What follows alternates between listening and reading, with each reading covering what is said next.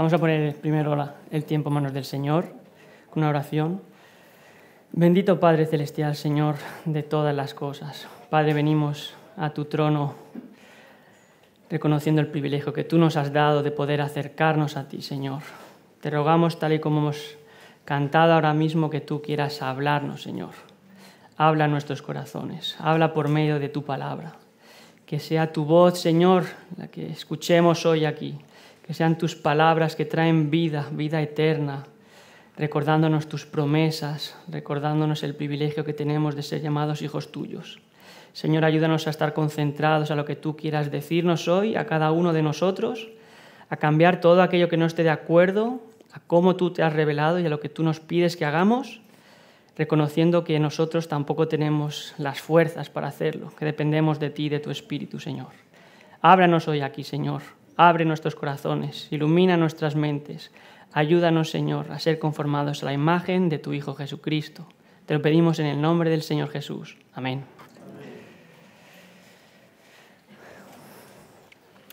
Imaginaos que un domingo como por ejemplo este, venimos a la iglesia, a la IEG, y entramos en el vestíbulo y la hermana del equipo médico, con su jovencita ayudante, nos dan el gel hidrológico para las manos, para que nos desinfectemos, y luego nos toma la temperatura, y cuando toma la temperatura nos mira extrañada y nos muestra la pantalla del termómetro, pone 40 grados. Y nosotros, wow, no, no, eso tiene que ser un error, que yo me encuentro bien, estoy perfecto, no, no puede ser. Tómamelo otra vez, por favor, pero en vez de en la frente, en la mano, en la muñeca. Y la hermana, pues con paciencia, vuelve a tomar la temperatura de nuevo, otra vez, en la... y nos vuelve a mirar, nos vuelve a enseñar la pantalla, otra vez 40. Nosotros, que no, no, que yo no tengo fiebre, que me encuentro bien, estoy como nunca, estoy perfecto.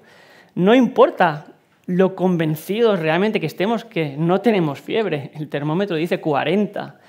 Y por si acaso los hermanos de acomodación no nos van a dejar entrar a la iglesia, por mucho que estemos convencidos de que no tenemos fiebre. Pues sobre esto es sobre lo que vamos a estar hablando en esta mañana, el mensaje que vamos a ver, que trata sobre algo mucho peor que la fiebre, sobre nuestra enfermedad espiritual una enfermedad mortal, y sobre la verdad de Dios, y sobre la mentira que el hombre quiere creer, y las implicaciones que tiene el creer nuestra propia mentira en lugar de creer la verdad de Dios. Si me acompañáis, vamos a leer el pasaje, está en la primera carta de Juan, versículos del 5 al 10, Primera carta de Juan, capítulo 1, versículos del 5 al 10. Y dice así la palabra. Y este es el mensaje que hemos oído de Él y que os anunciamos. Dios es luz y en Él no hay tiniebla alguna. Si decimos que tenemos comunión con Él, pero andamos en tinieblas, mentimos y no practicamos la verdad. Pero si andamos en la luz, como Él está en la luz, tenemos comunión los unos con los otros y la sangre de Jesús, su Hijo, nos limpia de todo pecado. Si decimos que no tenemos pecado, nos engañamos a nosotros mismos y la verdad no está en nosotros. Si confesamos nuestros pecados, Él es fiel y justo para perdonarnos los pecados y limpiarnos de toda maldad. Si decimos que no hemos pecado, le hacemos a Él mentiroso y su palabra no está en nosotros. Amén. El apóstol Juan escribe una carta, la primera carta de Juan, con el fin de rechazar todas las falsas enseñanzas que estaban entrando en la iglesia en estos finales del primer siglo y también para que reflexionemos sobre nuestra fe, para que evaluemos nuestro cristianismo.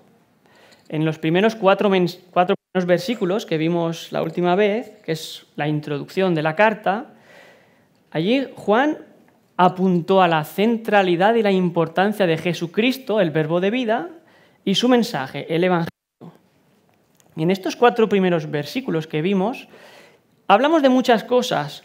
Hablamos de quién es la fuente, el origen de este mensaje, que es el verbo de vida, Jesucristo, desde cuándo, desde el principio, dónde estaba, estaba con el Padre. ¿Qué hizo? Se manifestó. ¿Con qué propósito? Con el propósito de tener gozo perfecto y comunión plena. Pero, ¿cuál es el mensaje? ¿Qué mensaje es este que trae comunión plena con Dios Trino y un gozo completo, perfecto? Pues esto es lo que vamos a estar viendo esta mañana y lo encontramos en el versículo 5, en el primer versículo que vamos a estar viendo hoy. Y es un, y es un versículo que estará hablando de el contenido de este mensaje, que es el primer punto del mensaje de hoy. Primer punto, el contenido del mensaje, versículo 5, así como el segundo punto es las implicaciones de este mensaje, que son los versículos del 6 al 10. Pues vamos a, leer el versículo 5, que dice que este es el mensaje que hemos oído de Él y que os anunciamos. Dios es luz y en Él no hay tiniebla alguna. Juan comienza diciendo, este, este es el mensaje. Y lo dice para que quede muy claro que es este mensaje concreto y específico y que no es ningún otro. Él quiere que tengamos claro que se refiere a algo muy especial. Entonces, lo que quiere enfatizar aquí lo entenderemos mejor cuando lo leemos tal y como está escrito en el original, que dice, y existe este mensaje, o y existe el mensaje. ¿Y desde cuándo existe este mensaje? Pues desde el principio, porque la fuente que ha traído este mensaje existe desde el principio. Juan entonces no está remarcando solo el contenido de este mensaje, él está remarcando el significado eterno de este mensaje. Por lo tanto, este mensaje no es un mensaje que esté abierto a cambiarse, alterarse, modificarse o manipularse. ¿Por qué? Porque no se originó con Juan, no se originó con los apóstoles, no se originó con el hombre, proviene de Dios mismo. Fijaos lo que dice la palabra de Dios, dice que ninguna profecía fue dada jamás por un acto de voluntad humana, sino que santos hombres de Dios, inspirados por el Espíritu Santo, hablaron de parte de Dios. Primera de Juan, segunda de Pedro 1.21. Es decir, entonces, ¿qué hacemos con todas estas personas que afirman tener nuevos sueños, nuevos mensajes, nuevas revelaciones, nuevas profecías, los nuevos apóstoles? ¿Qué hacemos con ellos? Pues no tenemos que hacer nada, solo leer la palabra de Dios. Dios dice en su palabra, a la ley y al testimonio, si no hablan conforme a esta palabra, es que no hay para ellos amanecer. Isaías 8:20. Es decir, si lo que estas personas están comunicando no está conforme a la ley y al testimonio, o dicho de otra forma, a lo que Dios ha revelado de sí mismo en la palabra de Dios, primero por los profetas y luego por su Hijo Jesucristo, es que para estas personas no hay luz, no hay amanecer. Y para estas personas y también para los que están escuchando a estas personas y creyendo a estas personas. Entonces Juan, para quitar toda duda, vuelve a recalcar por tercera vez lo que hemos oído de Él, de Jesucristo, del verbo de vida, de Dios hecho hombre. Es un mensaje sobre Dios y es un mensaje que lo transmite y lo comunica Dios mismo hecho hombre, Jesucristo. Fijaos que dice Juan en su Evangelio, al Padre nadie le ha visto jamás. Jesucristo es quien le ha dado a conocer. Juan 1.18. Por eso para Juan es tan importante que todos tengamos claro que este mensaje lo ha, lo ha escuchado de Jesucristo mismo, porque Él es el único autorizado a transmitir este mensaje. Y dice más, dice, este mensaje que hemos escuchado del Señor mismo, de Dios, es lo que os anunciamos.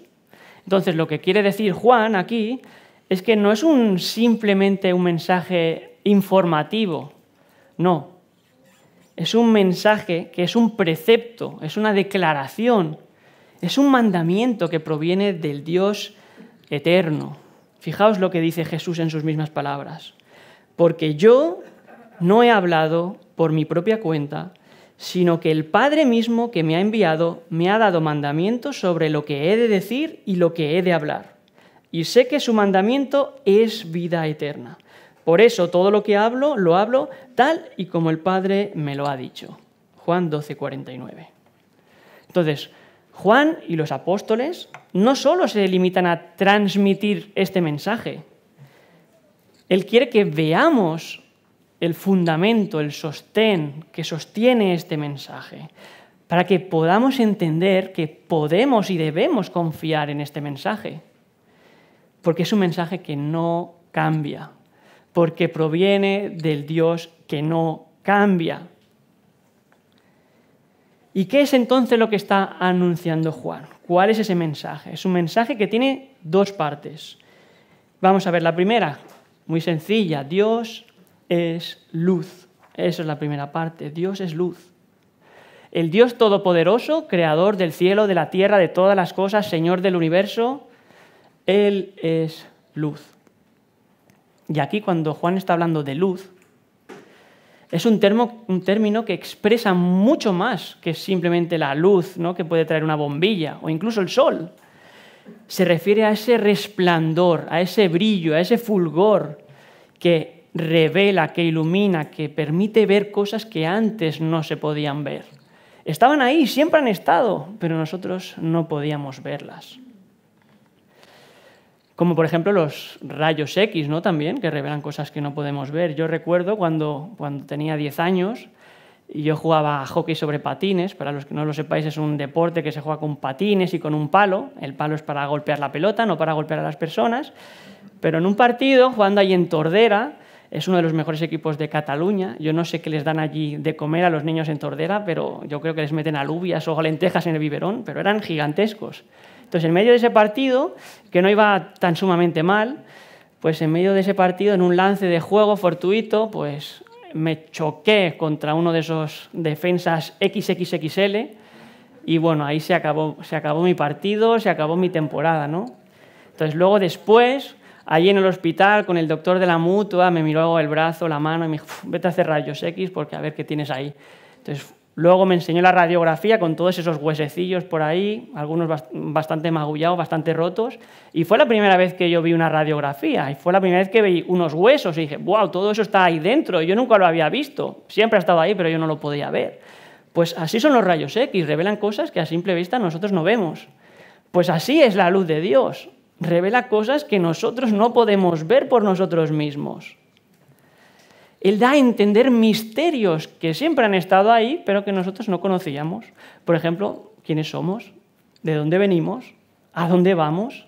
Eso es la luz de Dios y no solo revela eso, revela mucho más, porque así como los rayos X revelan nuestros huesos, la luz de Dios revela nuestro corazón y revela la gran necesidad que tenemos todos de un Salvador.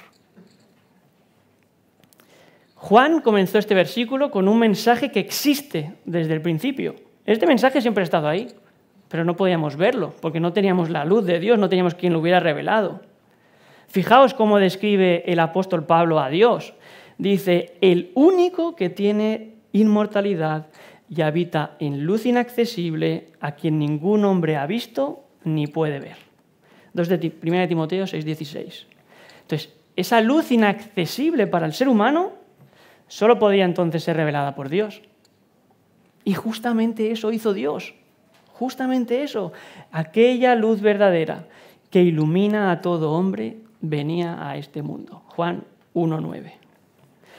Cuando está hablando de la encarnación de Jesucristo, del Hijo de Dios. Entonces es a través de Jesús que nosotros, los hombres, somos iluminados y podemos ver a Dios. Por eso Jesús dijo, quien ha visto al Padre, quien me ha visto a mí ha visto al Padre. Pero no solo podemos verle, sino que también podemos conocerle. Por eso dice, nadie conoce al Padre sino el Hijo, y aquel a quien el Hijo se lo quiere revelar. Entonces nosotros no podríamos conocer a Dios sin Jesucristo, si no hubiera venido el Hijo de Dios. ¿Vemos entonces la inmensa misericordia de Dios para con nosotros los pecadores? Jesús es la luz que ilumina nuestro entendimiento para que podamos conocer el carácter de ese Dios eterno al que no podemos ver. Podemos ver su santidad, su pureza, su majestad, su misericordia, su perdón, su amor, su bondad, su justicia, su gloria. Jesús anuncia un mensaje eterno que proviene de un Dios eterno porque Él es eterno.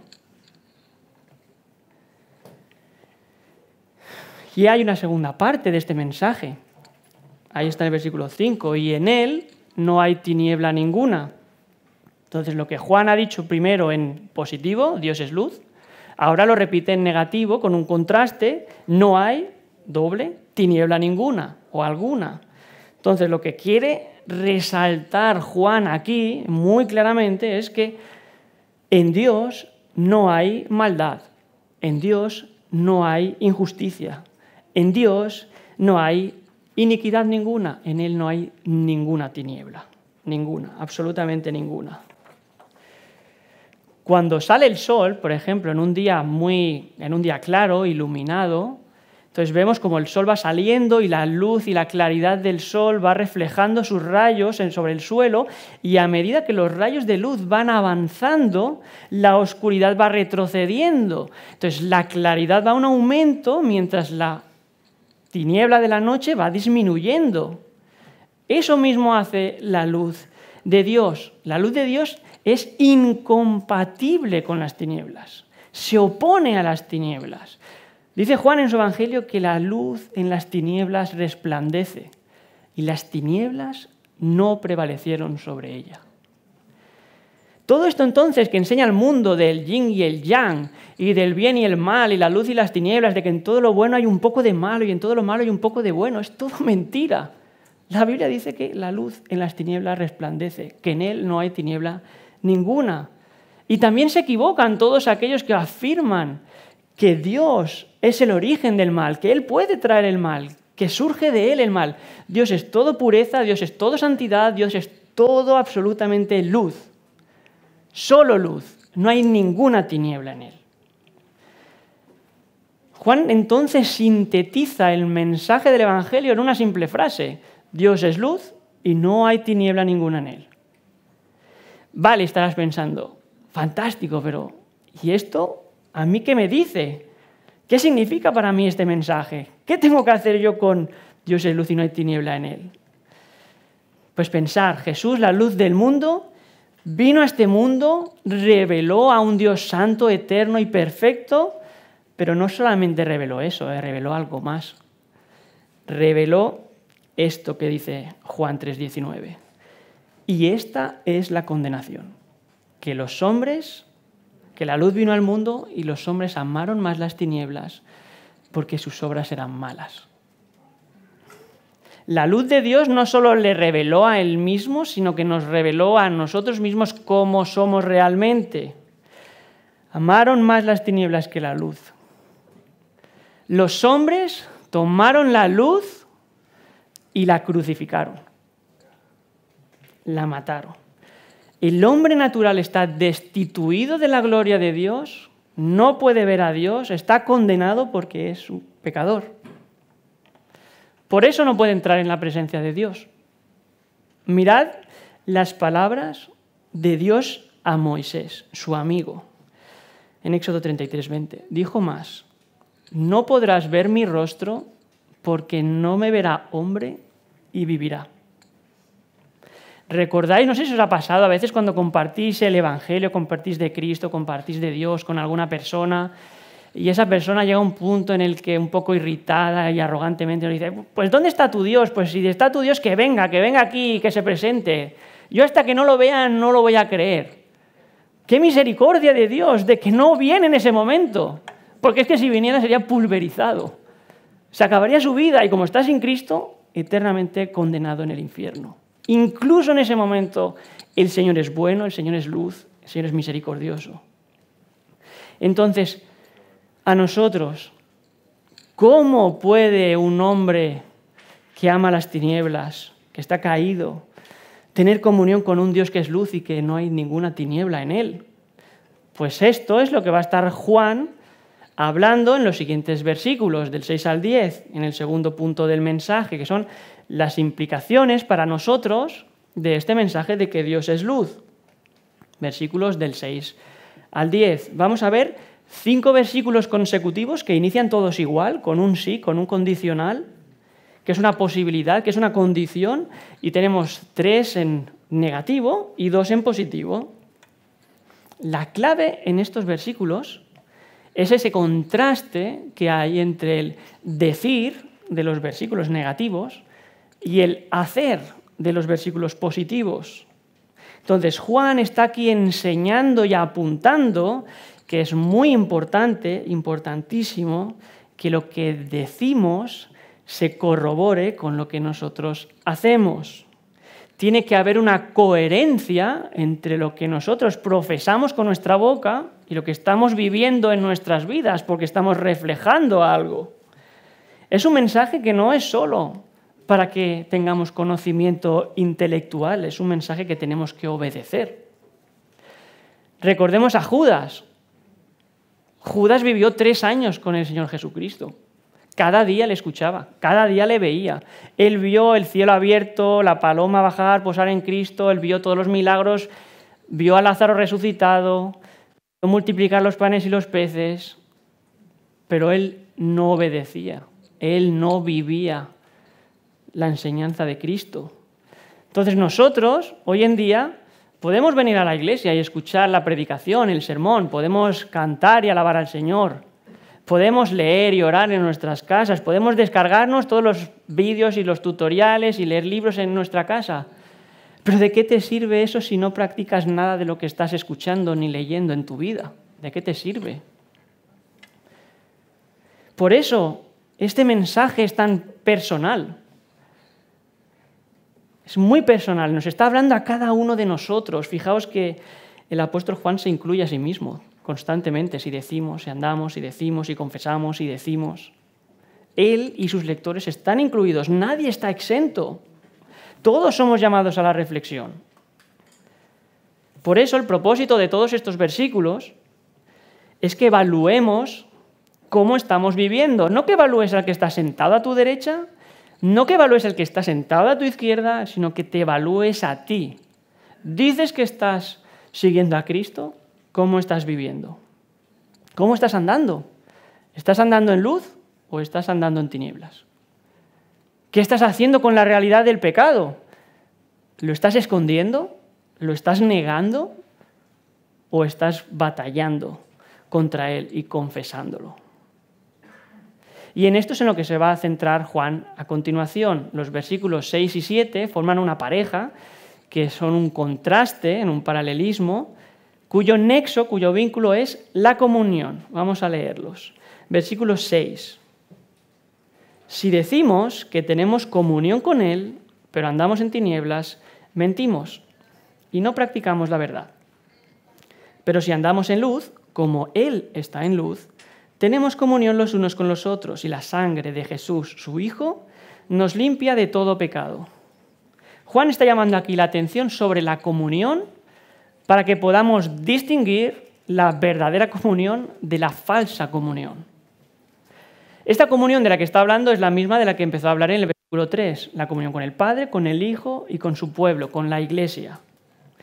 Y comunión, recordamos que significa un vínculo, una relación profunda, íntima, generosa de unos con otros. Y dado que esto significa comunión y que Dios es luz y no hay tiniebla ninguna en él, Juan entonces lo que está enfatizando es que es imposible, imposible que tengamos comunión con Dios si estamos viviendo y andando en tinieblas. Imposible. Es importante entonces que tengamos claro qué significa andar en tinieblas. Andar en tinieblas no se refiere a algo puntual, momentáneo, no se refiere a un comentario áspero a tu esposa, no se refiere a una palabra fuera de tono a tu hijo, no se refiere a un comentario despectivo y rebelde de un hijo hacia su padre, ni tampoco se refiere a una queja momentánea que a veces tenemos. Hermanos, estos sí, son actitudes pecaminosas, pero esto no es andar en tinieblas. Andar en tinieblas, entonces, lo que está queriendo decir y lo que significa es una actitud, un patrón de vida, un estilo de vida basado en la impiedad y en la injusticia y en la inmoralidad, es vivir para ti mismo. Es lo que Pablo llama vivir para los deseos de la carne en Gálatas 5. Y allí da una larga lista de todas las cosas que son andar en tinieblas. Adulterio, fornicación, inmundicia, lascivia, idolatría, hechicería, enemistades, pleitos, celos, iras, contiendas, disensiones, herejías, envidias, homicidios, borracheras, orgías, cosas semejantes. Y también da una conclusión. Dice Pablo a los Gálatas, todos los que practican estas cosas y viven de esta forma no heredarán el reino de Dios. ¿Y por qué no lo van a heredar? Porque no viven en el reino de Dios, están viviendo en el reino de las tinieblas. Entonces Juan dice lo mismo, pero más breve y con otras palabras. Si andas en tinieblas, no practicas la verdad. Si dices que tienes comunión con Dios, pero vives de esa forma, mientes, mentiroso. Porque no es lo que dices, es lo que haces, lo que vives. Eso es lo que muestra en qué reino estás viviendo ahora.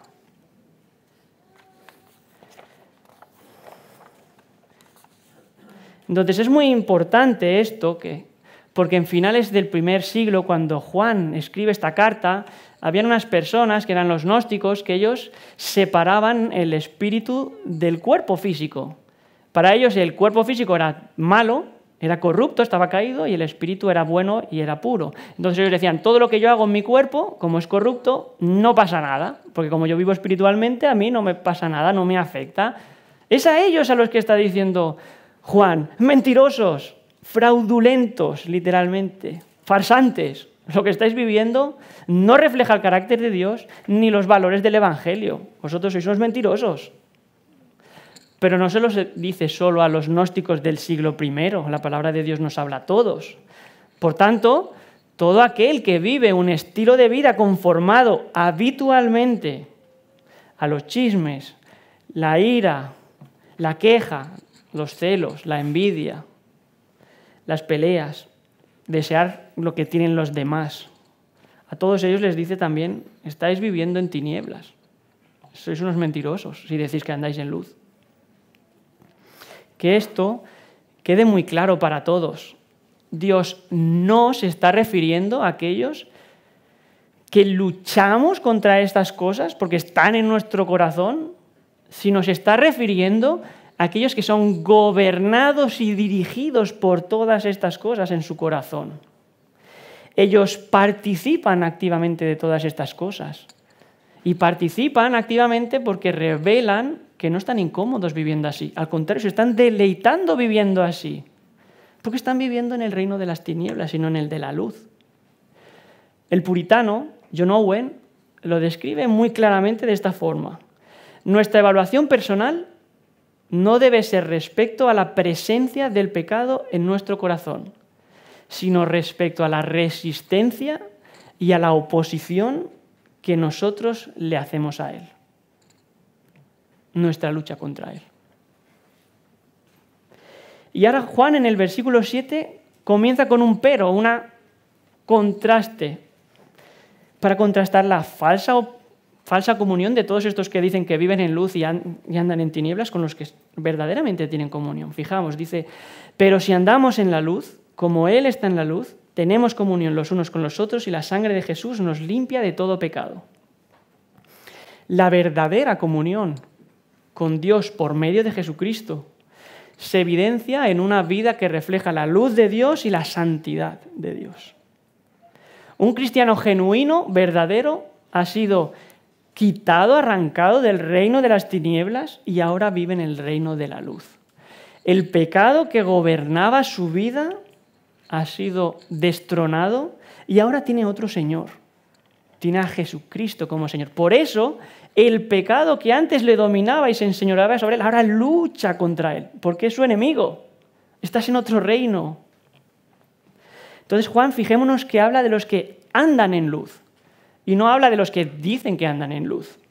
Hay una gran diferencia entre los que dicen y los que hacen. Jesús habló muy claramente de estas cosas.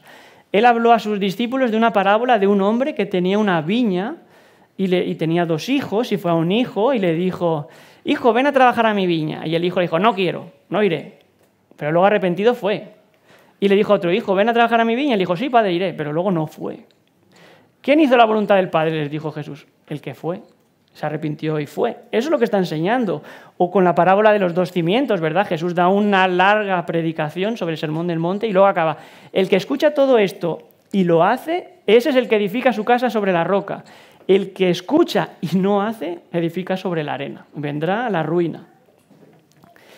Entonces, así como andar en tinieblas es un patrón constante y habitual en nuestra vida, andar en luz es lo mismo, un patrón constante y habitual en nuestra vida. Quien anda en luz vive en comunión perfecta y verdadera con Dios y por tanto él puede reflejar la luz y la santidad de Dios, aunque no lo hace de forma perfecta. No creemos en el perfeccionismo. El perfeccionismo será cuando el Señor haya traído cielo nuevo y tierra nueva y tengamos un cuerpo glorificado. Aquí estaremos lidiando con el pecado. Y es a eso a lo que Jesús se refiere cuando dice que así brille vuestra luz delante de los hombres para que viendo vuestras buenas obras, den gloria a vuestro Padre que está en el cielo. Y es lo mismo que Pablo hace cuando exhorta a andar en el Espíritu y no en la carne. Entonces, andar en luz es un sentido consciente de estar de forma permanente en la presencia de Dios.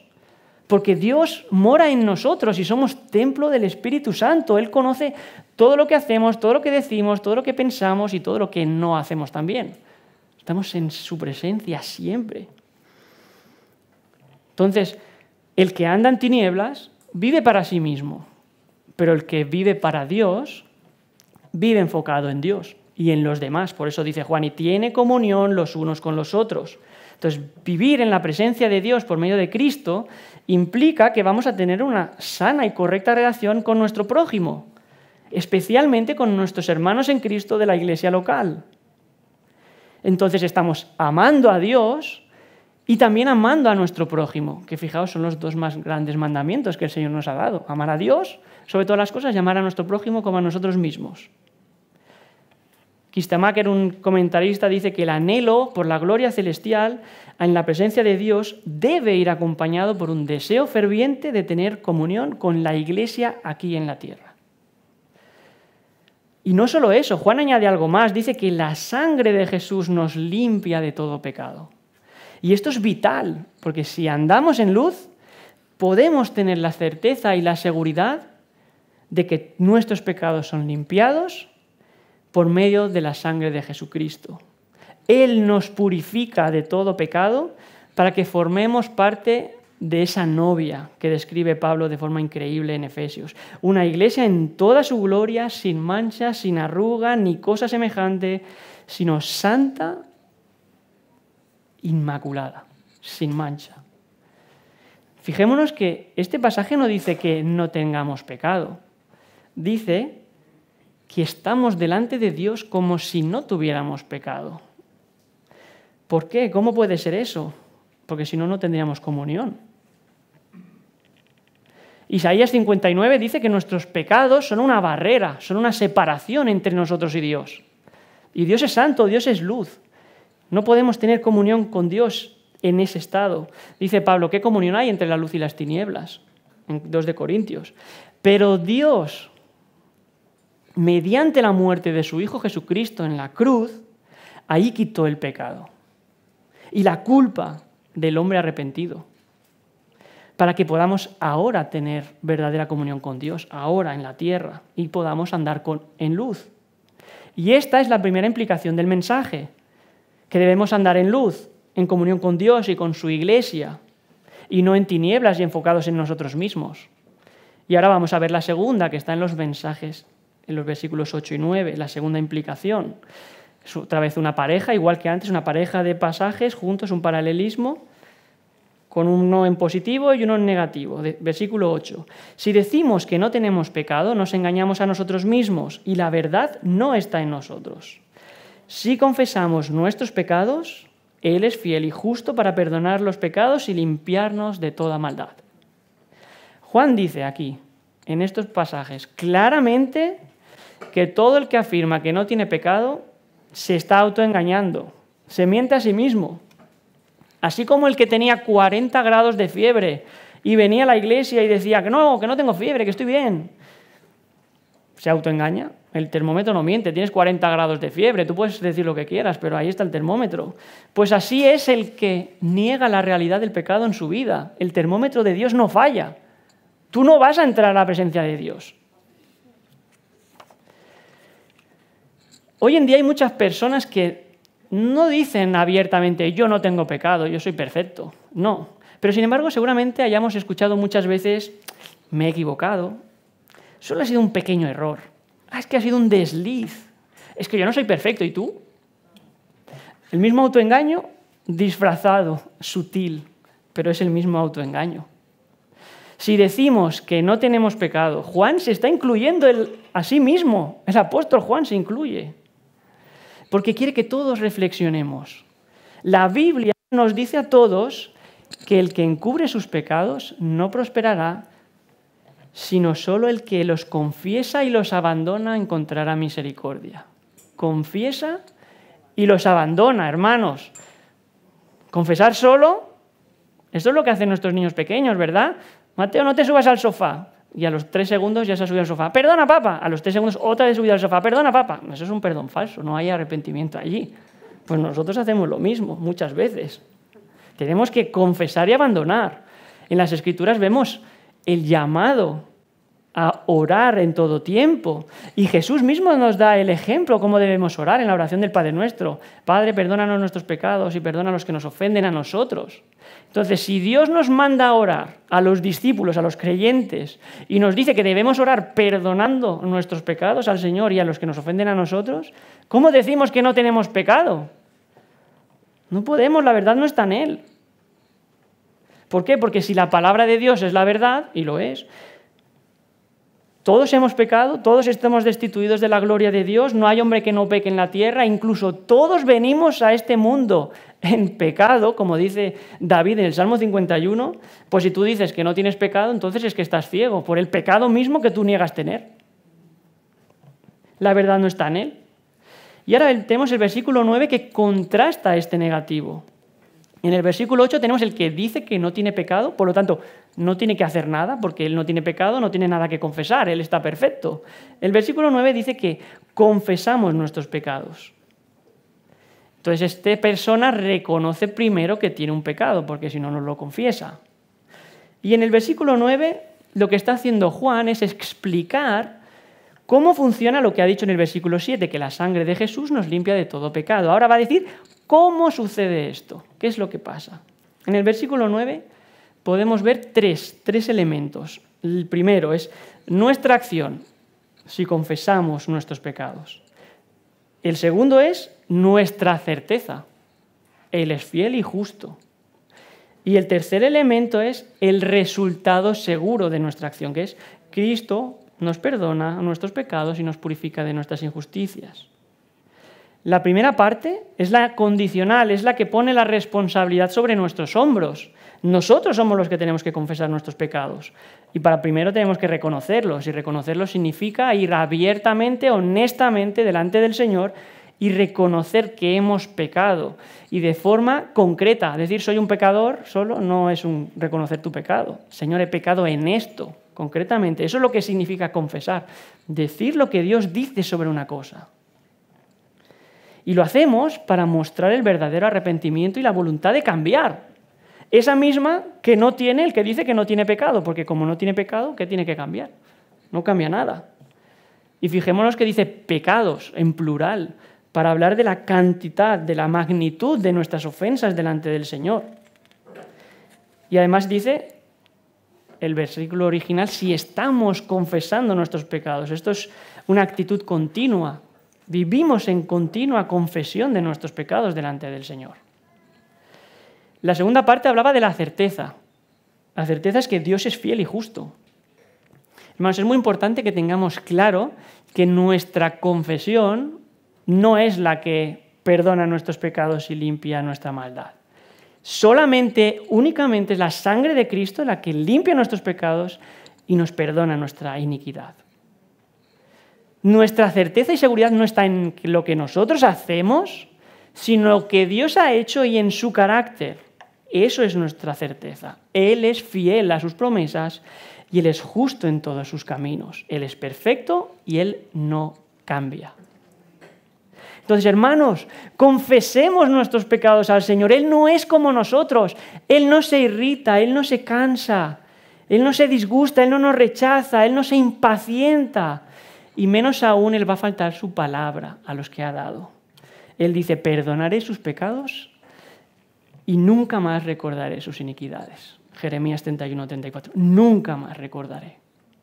Qué reflejo tan increíble y maravilloso de nuestro Dios. Él promete perdonarnos cada vez que vamos a Él y nos llama a hacerlo. Y esa es la tercera parte del mensaje. El resultado seguro, el cumplimiento. Él dice que nos perdona nuestros pecados y nos purifica de nuestra injusticia. El pasaje está mostrando que Dios lo hace en ese momento, no lo dice que lo hará después, no lo es una cosa a futuro. No podemos verlo simplemente como una promesa posterior. Hemos de verlo como el cumplimiento de nuestra acción de confesar, algo que sucede ahora. Entonces, este cumplimiento de que perdona y limpia es la garantía de que nosotros podemos ahora tener comunión con Dios. Perdonar hace referencia a que es quitada una deuda del deudor y es restaurado y limpiar hace referencia a quitar toda mancha, toda injusticia, toda impureza que hay que nos separaba de Dios. Y por eso podemos tener entonces comunión con Dios porque confesamos y somos limpiados. Y lo más increíble de todo esto es que todo esto sucede por iniciativa de Dios. Es Dios el que dice, venid ahora y razonemos, dice el Señor, aunque vuestros pecados sean como la grana y como la nieve serán emblanquecidos, y aunque sean rojos como el carmesí, como la lana blanca quedarán. Isaías 1.18. Entonces, este hermoso versículo que muchos de nosotros ya no sabemos de memoria, ¿verdad? Dice dos grandes verdades, nos enseña dos grandes cosas sobre Dios. La primera es cómo interactúan la responsabilidad nuestra, debemos ir y confesar, con la soberanía de Dios. Él es el que limpia y Él es el que perdona. Y la segunda, nos alienta, nos ayuda, nos anima, porque podemos ver que realmente podemos confiar en Dios. Porque es iniciativa de Dios el que tengamos comunión con Él, que andemos en luz. Y es en base a su carácter y en base a sus acciones, no a las nuestras. Entonces, todo aquel que cree en Cristo y obedece el mensaje de Cristo, el Evangelio, tiene comunión con Dios, anda en luz, porque sus pecados son limpiados. Pero al que no cree en Cristo, al que no tiene comunión con Dios, ni obedece ese mensaje, Juan tiene algo más que decirle, versículo 10, el último. Es una especie de resumen. Si decimos que no hemos pecado, le hacemos a él mentiroso y su palabra no está en nosotros. Fijaos, esta declaración final es el colofón del orgulloso que no se ha arrepentido, que no conoce a Dios, que no tiene arrepentimiento. En el versículo 6 dice el que, que tiene comunión con Dios, pero anda en tinieblas. En el versículo 8 dice que no tiene pecado, por lo tanto no tiene que arrepentirse. Y en el versículo 10 dice un paso más allá todavía que no ha pecado, es decir, nunca ha pecado. Es decir, no es un pecador, es perfecto, es santo. Literalmente el pasaje dice, si estamos diciendo que no estamos pecando. Entonces esto es una actitud constante, una arrogancia suprema y continua, una insolencia que se está igualando a sí mismo con Dios. que es el único sin pecado, Dios. Es el colmo de la soberbia y de la arrogancia. Ponerte a la altura de Dios, hacerte igual que Él. ¿Sabemos quién dijo estas palabras? Subiré al cielo en lo alto, junto a las estrellas de Dios levantaré mi trono, sobre las alturas yo me sentaré y seré semejante al Altísimo. Están escritas en Isaías capítulo 14. Están hablando del padre de la mentira, del diablo, aquel que lleno de arrogancia y soberbia quiso ser igual a Dios. Entonces la palabra de Dios declara rotundamente que el hombre es un pecador. Todos somos injustos. No hay justo, no hay ni tan siquiera uno, no hay quien haga el bien, no hay ni tan siquiera uno. todo aquel entonces que está negando esto está mintiendo. Y esta es la progresión de esta persona que niega esto. Versículo 6, miente a todos los demás. Versículo 8, se miente a sí mismo. Y versículo 10, está haciendo a Dios mentiroso. Está diciendo que la palabra de Dios es mentira. Amados, la gracia es para todo aquel que reconoce que necesita de esta gracia, porque reconoce su pecado y lo confiesa. Como el publicano, recordáis que el publicano que en la sinagoga se golpeaba el pecho, no quería mirar arriba diciendo, Dios, se propicio de mí porque soy pecador. Él volvió a casa justificado y no el fariseo que decía, yo soy más justo que este. Ese no volvió justificado. El apóstol Juan ha presentado un mensaje que es digno de confianza porque proviene de Dios y Dios no cambia. Y este es el mensaje, Dios es luz y no hay tiniebla ninguna en él. Por tanto, reflexionemos. Si sigues escondiendo y negando tu pecado, mientes, te estás engañando a ti mismo, estás probando que andas en tinieblas, estás probando que estás sin Cristo, que estás sin Dios, al que estás tratando de mentiroso. En cambio, si confiesas tus pecados humildemente delante de Dios, entonces estás probando que andas en luz, que tienes comunión verdadera y genuina con Dios, con su Hijo Jesucristo, y con su pueblo, la Iglesia. Oremos. Padre Celestial, Señor de todas las cosas, te amamos, Señor, y te agradecemos todo lo que tú has hecho para que nosotros podamos conocerte, podamos andar en luz y podamos reflejar tu carácter, Señor. Somos imperfectos, somos débiles. Señor, pon de tu espíritu en nosotros para conformarnos a la imagen de Cristo. Ayúdanos, Señor, a practicar todo aquello que conocemos en nuestras mentes, Señor. Ayúdanos a vivir para tu gloria. Señor, te pedimos que si hay alguno que todavía no ha rendido su vida a Cristo, Señor, que quieras tú mover su corazón en arrepentimiento, sabiendo que tú no echas afuera a ninguno de los que venimos a ti, Señor. Alabado sea tu nombre. Te agradecemos, Señor, que tú eres bueno, el único bueno y que tu misericordia es cada mañana, Señor. Amén.